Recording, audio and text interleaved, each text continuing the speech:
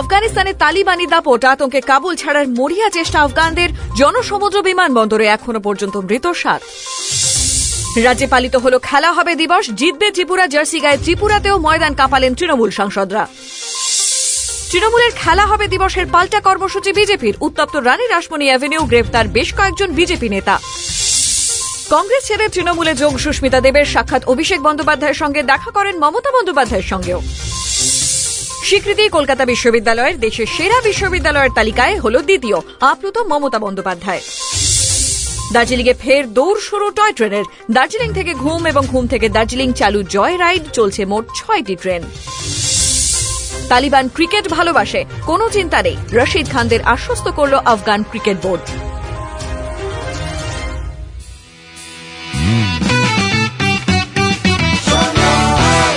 আপনি শুনছেন সংবাদ প্রতিদিন শোনো। নমস্কার রাশি বিস্তারিত খবরে। তালিবানি দাপটে কাঁপছে আফগানিস্তান। যে কোনো মূল্যে দেশ ছাড়ার চেষ্টায় প্রত্যেকে রীতিমতো ঠাসাঠাসি করে বিমানে উঠছে মানুষ। তালিবানি শাসন থেকে রেহাই পেতে প্রাণ হাতে নিয়ে কেউ উঠে পড়ছেন বিমানের ইঞ্জিনে। কেউ আবার বিমানের টায়ার আঁকড়ে দেশ ছাড়ার চেষ্টায়, যার পরিণতি হল মর্মান্তিক। উড়ন্ত বিমান থেকে পড়ে মৃত্যু হল দুজনের। রবিবারই কাবুলের দোরগোড়ায় তালিবান উপস্থিত হওয়ার পরেই বোঝা গিয়েছিল অপেক্ষা আর সামান্যই। পরবর্তীতেই আফগান প্রেসিডেন্ট আশরফ ঘানি ইস্তফা দেন। তারপরেই আফগানিস্তানে তালিবান শাসনের নয়া অধ্যায়ের সূচনা হয়। এই পরিস্থিতিতে প্রাণ হাতে করে দেশ ছাড়তে মরিয়া প্রত্যেকেই। কাবুল বিমানবন্দরে উপচে পড়ছে ভিড়। কর্তৃপক্ষ ভিড় সামলানোর চেষ্টা করলেও তাতে বিশেষ লাভ হয়নি। কোনো মতে বিমানে উঠতে চাইছেন প্রত্যেকেই। সোমবার সকালেই সোশ্যাল মিডিয়ায় ছড়িয়ে পড়েছিল মর্মান্তিক একটি ভিডিও, যেখানে দেখা গিয়েছিল বিমানের রানওয়েতে দাঁড়িয়ে কয়েক হাজার মানুষ। বিমানের ভেতরে জায়গা পাওয়া তো দূরস্ত, টায়ার, ইঞ্জিন আঁকড়ে ধরে দেশ ছাড়তে চাইছেন সকলেই। এদিন ফের কাবুল বিমানবন্দরে গুলি চলার ঘটনাও ঘটে। সূত্রের খবর, হুঁশিয়ারি সত্ত্বেও বিমানবন্দরের সামনে জড়ো হওয়া আফগানিস্তানের সাধারণ মানুষের ভিড় সামাল দিতে শূন্যে গুলি চালানো হয়। সংবাদ সংস্থা রয়টার্স জানিয়েছে এখনও পর্যন্ত কমপক্ষে পাঁচ জনের মৃত্যু হয়েছে। ভিড়ে পদপিষ্ট হয়ে তাদের প্রাণহানি হয়েছে বলেই খবর। সব মিলিয়ে এই মুহূর্তে গোটা আফগানিস্তানে ছড়িয়েছে চূড়ান্ত আতঙ্ক। প্রতিশ্রুতি মতোই রাজ্যে পালিত হল খেলা হবে দিবস। যুব ভারতীতে মুখোমুখি হয় ভারত একাদশ ও আইএফএ একাদশ। খেলা হবে দিবসের রেশ ত্রিপুরাতেও। বিজেপির রাজ্যে খেলার ময়দান কাঁপালেন তৃণমূল সাংসদ প্রসূন বন্দ্যোপাধ্যায়, শান্তনু সেনরা। প্রত্যেকের পরনে ছিল সাদা কালো জার্সি। সেখানে লেখা, জিতবে ত্রিপুরা। পশ্চিমবঙ্গের বাইরে গুজরাট, উত্তরপ্রদেশ এবং ত্রিপুরা। এই তিন রাজ্যে খেলা হবে কর্মসূচি পালনের আয়োজন এবং পরিকল্পনা ছিল তৃণমূলের। এই তিন রাজ্যেই শাসক দল বিজেপি। প্রথম দুই রাজ্যে প্রশাসনের অনুমতি না পেলেও ত্রিপুরায় শেষ অবধি পালিত হল খেলা হবে দিবস। আগরতলার স্বামী বিবেকানন্দ ময়দান বা আস্তাবল ময়দানে খেলা হলো এই দিন। সোমবার সকালে স্বমহিমায় মাঠে দাপিয়ে বেড়ালেন দলের সাংসদরা।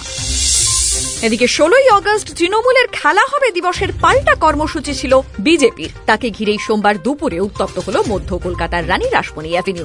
পুলিশের হাতে গ্রেপ্তার হলেন রাজ্য বিজেপির সভাপতি দিলীপ ঘোষ, বিরোধী দলনেতা শুভেন্দু অধিকারী, বিজেপি যুব মোর্চা সভাপতি সৌমিত্র খাঁ, বিজেপি নেতা শিলভদ্র দত্ত, দেবশ্রী চৌধুরী সহ বেশ কয়েকজন। সোমবার দুপুরে বিজেপির যুব মোর্চা সভাপতি সৌমিত্র খাঁর নেতৃত্বে চলছিল কর্মসূচির প্রস্তুতি। পুলিশের বাধায় সেই জায়গা বদল হয়ে যায় গান্ধী মূর্তির পাদদেশে।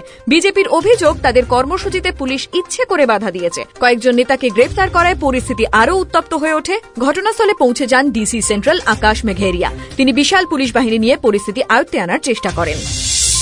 কংগ্রেস ছেড়ে তৃণমূলে যোগ দিলেন শিলচরের প্রাক্তন সাংসদ সুস্মিতা দেব। সোমবার তিনি সোনিয়া গান্ধীকে ইস্তফার চিঠি পাঠানোর পরে কলকাতায় এসে অভিষেক বন্দ্যোপাধ্যায়ের ক্যামাক স্ট্রিটের অফিসে যান। সঙ্গে ছিলেন ডেরেক ওব্রায়ন। সেখানে বেশ কিছুক্ষণ বৈঠক করেন তিনজনে। এরপরেই তিনজন মুখ্যমন্ত্রী মমতা বন্দ্যোপাধ্যায়ের সঙ্গে দেখা করেন। তিনি দলে আসায় খুশি তৃণমূল সুপ্রিমো মমতা বন্দ্যোপাধ্যায়। তৃণমূলের তরফে টুইট করে তাকে স্বাগত জানানো হয়েছে। উত্তর পশ্চিমের দুই রাজ্য, অসম এবং ত্রিপুরায় শক্তি বাড়াতে চাইছে তৃণমূল কংগ্রেস। দীর্ঘ রাজনৈতিক অভিজ্ঞতা সম্পন্ন সুস্মিতা দেব।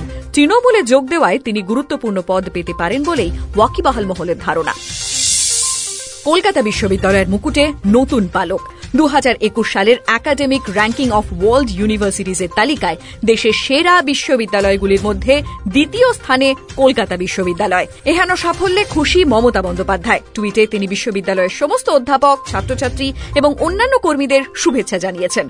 মুখ্যমন্ত্রী মমতা বন্দ্যোপাধ্যায় টুইটে লেখেন academic ranking of world universities Bangla সরকারকে জানিয়েছে তাদের বিচারে সেরা বিশ্ববিদ্যালয়গুলির মধ্যে দ্বিতীয় কলকাতা বিশ্ববিদ্যালয়। সমস্ত অধ্যাপক, অধ্যাপিকা, অশিক্ষক কর্মী এবং পড়ুয়াদের শুভেচ্ছা জানাই। এই তালিকার প্রথম স্থানে বেঙ্গালুরুর ইন্ডিয়ান ইনস্টিটিউট অফ সায়েন্স, দ্বিতীয় স্থানে কলকাতা বিশ্ববিদ্যালয়, পঞ্চম স্থানে রয়েছে রাজ্যের আইআইটি খড়গপুর। বিশ্বের নিরিখে প্রথম স্থান দখল করেছে হাভার্ড বিশ্ববিদ্যালয়। করোনা কাঁটায় মুখ ফিরিয়েছিলেন পর্যটকরা। বন্ধ ছিল পরিষেবা। প্রায় তিন মাস পর সোমবার সকালে ধোঁয়া উড়িয়ে ফের চলল টয় ট্রেন। কয়েকদিন আগে এই জেলার করোনা গ্রাফ চিন্তায় ফেলেছিল স্বাস্থ্যমহলকে। দার্জিলিং এ পা রাখতে গেলে পর্যটকদের জন্য দরকার তিন দিনের পুরনো আরটিপিসিআর টেস্টের নেগেটিভ রিপোর্ট অথবা জোড়া ভ্যাকসিনেশনের সার্টিফিকেট সোমবার থেকে আবার দার্জিলিং থেকে ঘুম এবং ঘুম থেকে দার্জিলিং শুরু হয়েছে জয় রাইড। চলছে মোট ছয়টি মেট্রো রেল এই যাত্রায় খরচ পড়বে এক থেকে দেড় হাজার টাকা। উত্তর পূর্ব সীমান্ত রেলের তরফ থেকে জানানো হয়েছে, প্রত্যেক যাত্রীর মাস্ক এবং স্যানিটাইজার ব্যবহার বাধ্যতামূলক। গোটা আফগানিস্তানের দখল নিয়েছে তালিবানরা। দেশত্যাগ করেছেন আফগান প্রেসিডেন্ট। ভয় কাঁপছেন স্থানীয়রা। দেশ ছাড়ার মরিয়া চেষ্টা করছেন প্রত্যেকেই। কিন্তু এখনও আফগানিস্তানি আটকে রশিদ খানের পরিবার। প্রতি মুহূর্তে দুশ্চিন্তা কুরে কুরে খাচ্ছে আফগান ক্রিকেট তারকাকে। তারই মধ্যে ক্রিকেটারদের ভরসার বাণী শোনাল আফগান ক্রিকেট বোর্ড। তাদের দাবি তালিবান তাণ্ডবে ক্ষতিগ্রস্ত হবে না আফগানের ক্রিকেট, কারণ তালিবানরা ক্রিকেট পছন্দ করে।